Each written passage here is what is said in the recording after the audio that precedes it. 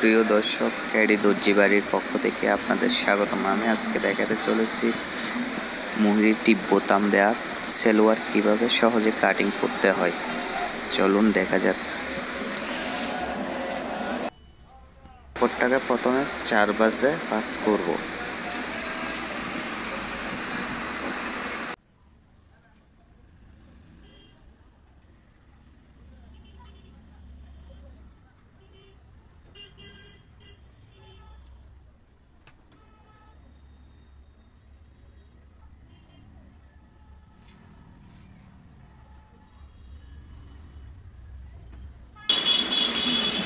চারপাশে ভাঁজ দেওয়ার পর আমরা উপরে পার্টে নিব আট ইঞ্চি।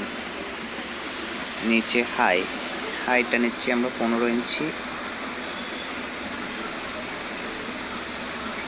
হাই বরাবর দাগটা টেনে দিব যাতে হাইটা কাটার সহজ হয়।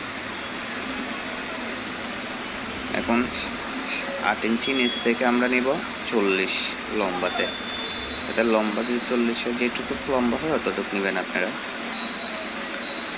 নিচে যেটা দাগ হচ্ছে, এটা হচ্ছে আপনার বর্ডারের জন্য। যেটা পাট, নিচে বর্ডারের জন্য দুই ইঞ্চি। ট্যাঙের মৌরি হবে যে নয়, এর উপরে তিন ইঞ্চি।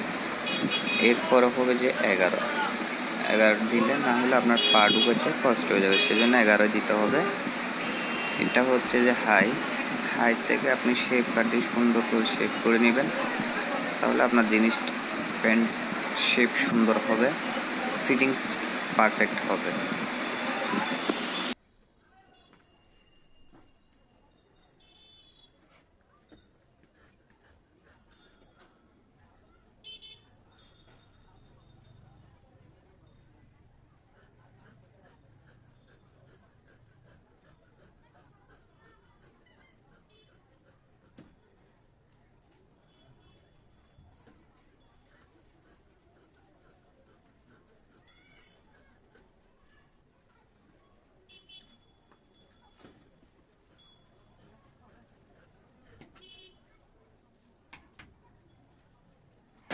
ছাগানে দিয়ে দেবেন।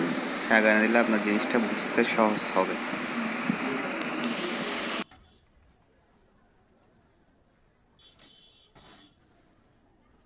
হিপ ইউক বলা যাকে আমরা ইউক বলি, এটা আপনার বডি অনুযায়ী হবে বডিটা।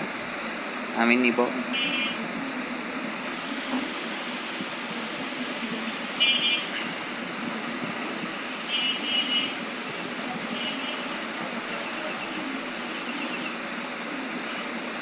নিচ্ছি সাড়ে নয় ইঞ্চি। সাড়ে নয় ইঞ্চি নিলে আপনার সাড়ে সাত ইঞ্চি হবে তৈরি। শিলাবার এই পাশে হচ্ছে তেরো। যেটা আপনারা এক্সট্রা দেখছেন, এটা কাপড় শর্টের কারণে ওরকম হচ্ছে। ওইটা যাতে আপনারা বুঝতে পারেন, সেজন্য আমি বাইরে দাগ দিয়ে দিলাম। যাতে এটা কাটার জন্য সুবিধা হয়। আপনাদের যাতে কোনো সুবিধা অসুবিধা না হয়। আপনারা এইভাবে পাশ দিয়ে নিয়ে নেবেন যাতে আপনাদের সমস্যা না হয়। এইভাবে পাশ দিয়ে বসায় সুন্দর করে কেটে নেবেন। তাতে আর কোনো সমস্যা হবে না।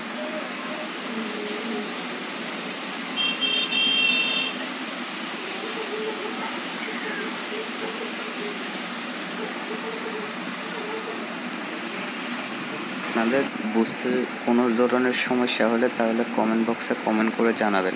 চেষ্টা করব আপনাদের সমস্যার সমাধান করার জন্য। ধন্যবাদ।